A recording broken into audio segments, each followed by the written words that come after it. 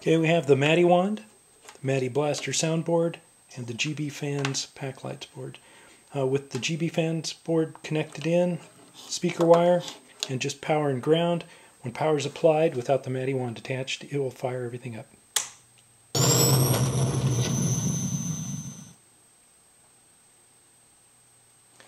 Now to get the Matty in control, just plug in the cable from here to this connector. And it goes, hey, Matty's turned off. So it'll power down the lights and the pack lights. So now when we turn it on, it should all be controlled from the Matty wand.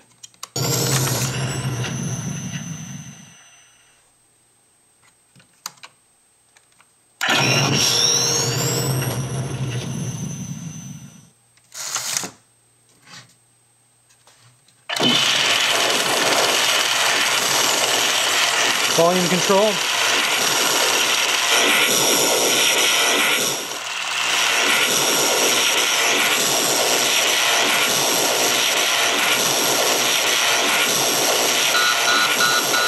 Overheating.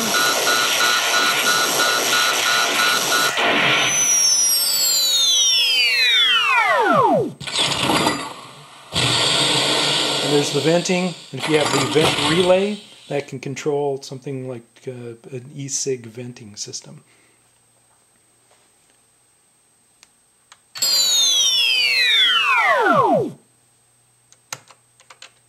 And power down.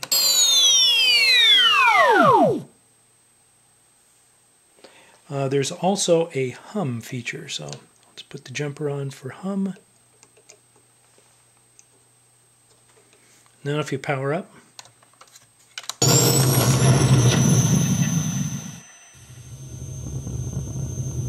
you'll have this hum sound going on the full time.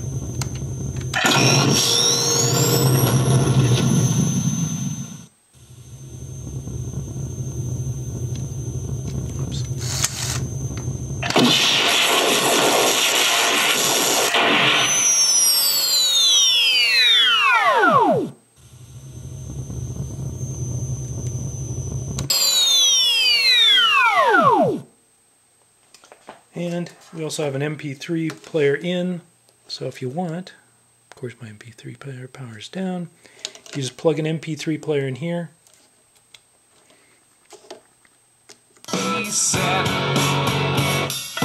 Testing one, two, three. Can anybody hear me if I the